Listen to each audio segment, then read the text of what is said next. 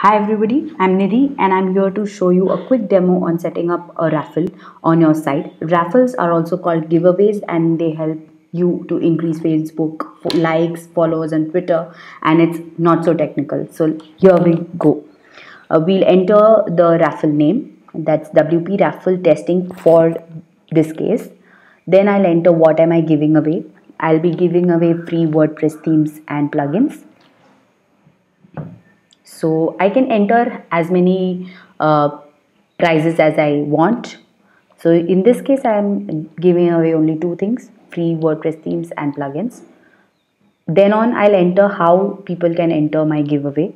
First is liking a Facebook. That's the most important thing for me particularly. So I'll choose that first.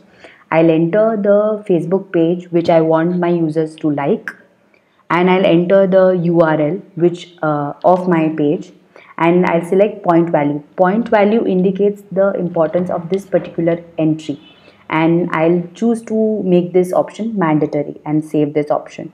The other options are uh, tweeting a message, uh, following a Twitter account or subscribing to a mailing list. Following a Twitter account works like, like this. I'll enter the uh, Twitter handle here and uh, save it I can choose my users randomly or manually. Uh, if you can see in the last tab, I have points, users, uh, username, entry details, choose winners. So choose winners is what I'll select if I want to choose them uh, manually. And then on I'll go to enter my start and end date and time.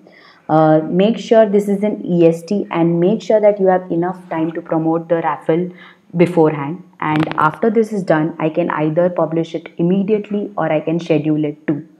So I'll publish it for now and uh, once I've published it I'll get a short code. Uh, if you can see on the screen currently I'll copy paste this short code and I'll uh, go to the next step which is entering this short code in the uh, particular page which I want the users to see. So I'll go there and paste it once I've pasted it I'll publish it. And after that I'll go to the link to show you how the raffle looks like.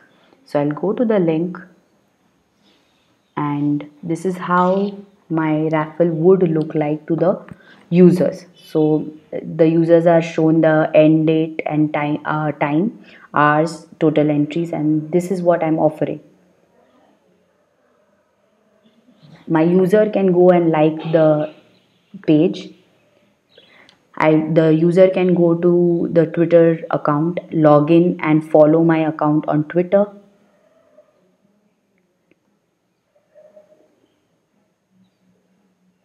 And submit the entry.